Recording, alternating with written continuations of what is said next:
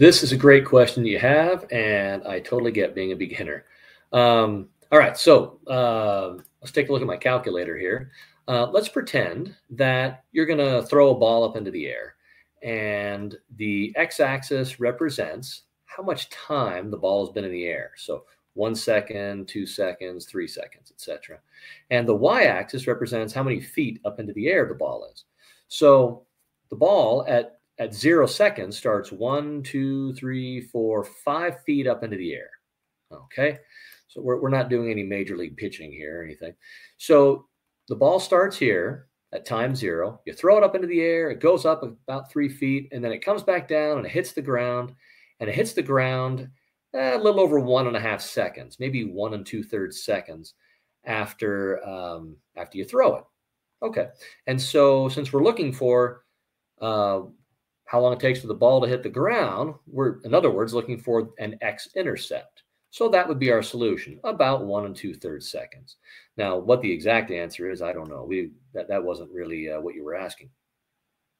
Now, to represent this uh, this parabolic path of the ball, we uh, we use a parabolic function or a quadratic function. And so this is a function I made up that that maps out about what you might might see uh, in a ball that's being chucked up into the air.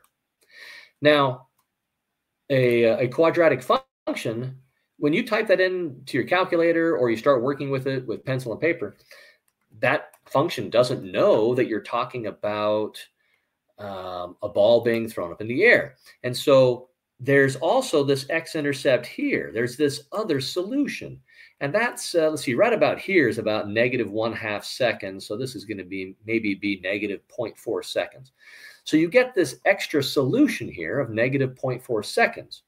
And that doesn't make any sense. That's 0.4 seconds before you threw the ball. And so, but you get this extra solution over here. Again, because the calculator or, or, or because the function doesn't know that that doesn't make sense and that it only makes sense to talk about things that are in the future with positive x values.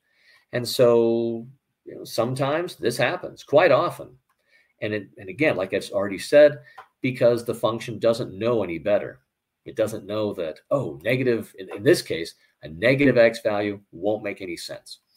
So that's basically what's going on when you have um, an extra solution that doesn't make any sense. It's okay. It's just part of um, it's just part of how you know uh, we interface with mathematical functions. And that's basically how it goes. I hope this helps.